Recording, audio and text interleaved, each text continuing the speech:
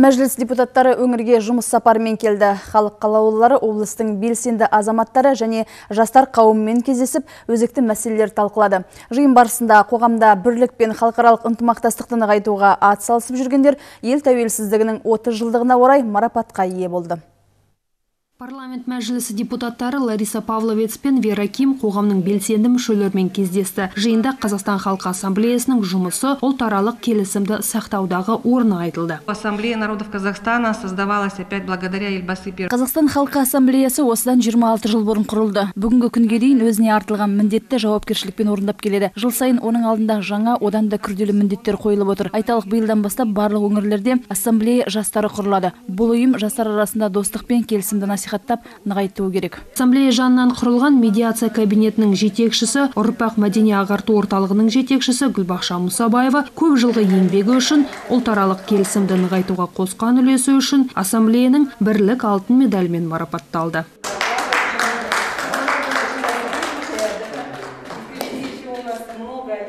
Бір айта кететіні гүлбақша мұсабаева депутаттармен әңгіме барысында ассамблея атынан сайланған халық қалауларына қазақ тілінің мәртебесін арттыруды ұсынды. Ассамблеяның ең басты тағы да бір бағыты ол мемлекеттік тілді дамыту.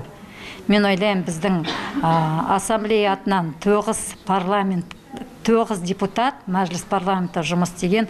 Осы 30 жылдықты біздің ұлттық рухымызды көтеріп келесі жылдан бастап мемлекеттік тілді жоғары біздің рухани байлығымыз біздің халықаралық сахнаға шығатын. Ерекшелігіміз осы мемлекеттік тіл болсын деп мен ойлаймын. Осы ойды мен бүгін ортаға салдым.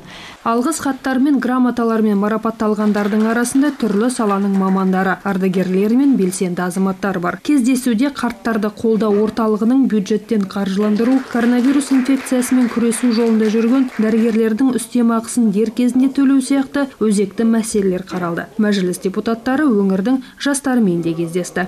Есть ли какие-либо программы құрметті депутаттар сіздерден пәтер бағасын реттейтін мемлекеттік бағдарламалардың болуын сұраймын. Солтүстік қазақстан облысында жалақы мөлшері аз ал пәтер бағасы болса күннен күнге шарықтап жатыр. Елордалық бағамен бір деңгейде. Сегодня цены на в том числе строительные материалы. Иә бағалар өсіп жатқаны рас. Құрылысшылар мұны құрылыс материалдары бағасының өскенімен түсіндіреді. Бұл күрделі мәселе. Біз сіздің сұрағыңызды қарайтын боламыз. Жастар көтерген тағы бір мәселе жұмыс жағдайын жақсарту. Жалақы мөлшерін арттыру мен аномастика мәселесін шешу. Әсел оразбаева анатолий беланок жаңалықтар қызметі.